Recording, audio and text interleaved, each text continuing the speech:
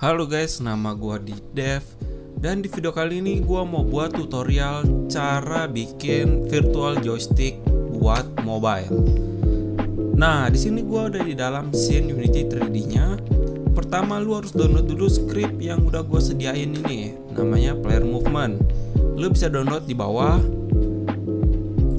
Oke, kalau udah pas lu import pasti bakal ada error kayak gini Nah, ini tuh karena kita belum download aset joysticknya. Pertama, lu ke Google dulu, terus lu ke Unity Asset Store. Di bagian sini, lu langsung aja search joystick.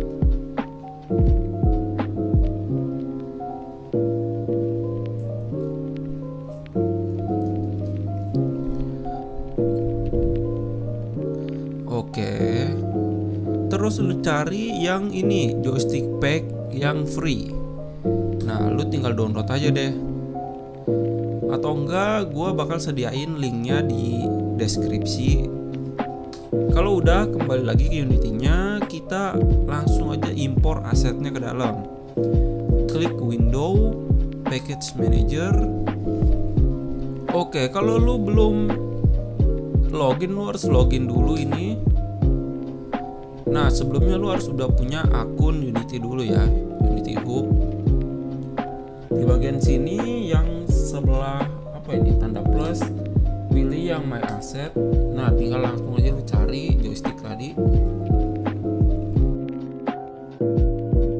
Langsung import. Setelah lu import pasti errornya bakal hilang. Nah terus sini ada folder baru namanya joystick pack di dalamnya ada prefab nah ini joysticknya yang bakal kita pakai pertama kita buat canvas dulu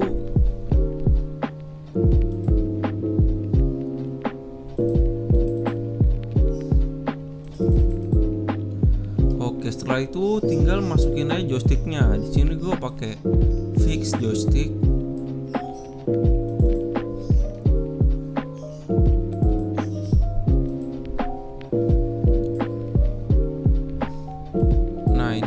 Atur dulu ukurannya karena kegedean. Kalau udah tinggal kita setup script player movementnya. Nah jadi di sini gue udah buat silinder yang bakal jadi playernya. Langsung aja scriptnya masukin.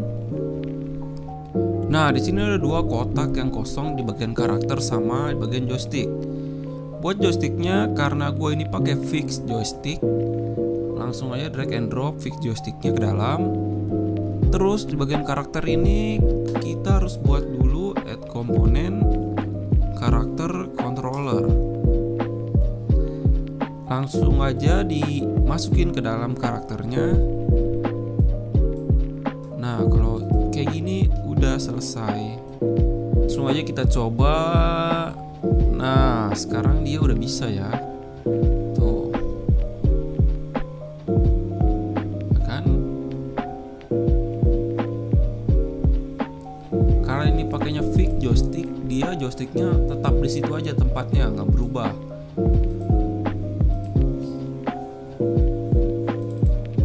Nah, di sini ada beberapa joystick, tinggal lu coba aja yang sesuai sama game yang lu buat.